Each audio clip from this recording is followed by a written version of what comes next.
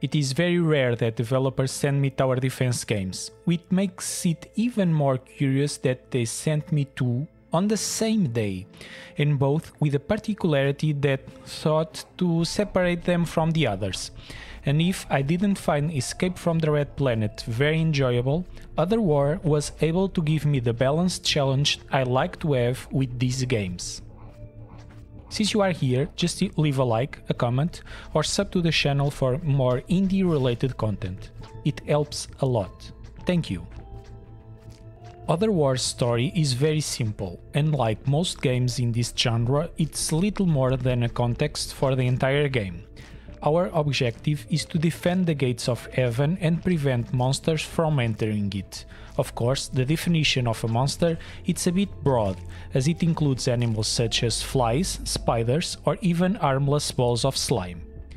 The pixel art is not very detailed, in a way reminds me of Vampire Survivors, but a little more washed out, so much so that I needed to go confirm what some of the monsters were in their respective description with an acceptable musical choice, but so little memorable that I had to turn the game on again just to confirm it, it fulfills its function, closing the empty spaces without distracting us, since the game demands a lot of attention.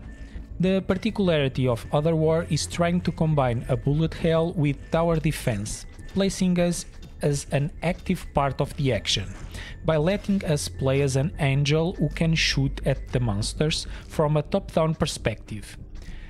This idea itself isn't original, but still makes the game distinctive enough to have kept me entertained until I finished the main story, albeit on the easiest difficulty.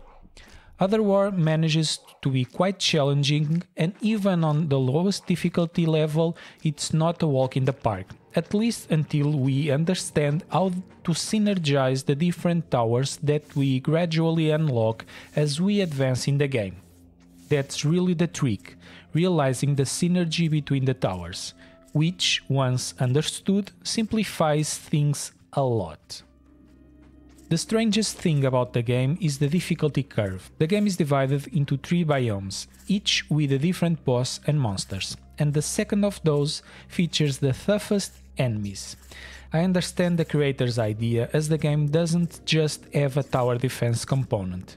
In theory, the enemies of the last biome are much more demanding for our attention and movement since the amount of projectiles they shoot is often able to cover a good part of the screen. But the game also has a skill tree and at that point we already have many ways to defend ourselves against all those projectiles that navigate the screen and, even if we don't, that bullet hell component is not the game's greatest strength since it's enough for us not to stop moving to, generally, not get hit. When I see a skill tree, I'm always suspicious of unnecessary grinding, but this is not the case here. I always felt that the game was balanced with the options we were unlocking, giving us enough currency to keep track of the game's progress.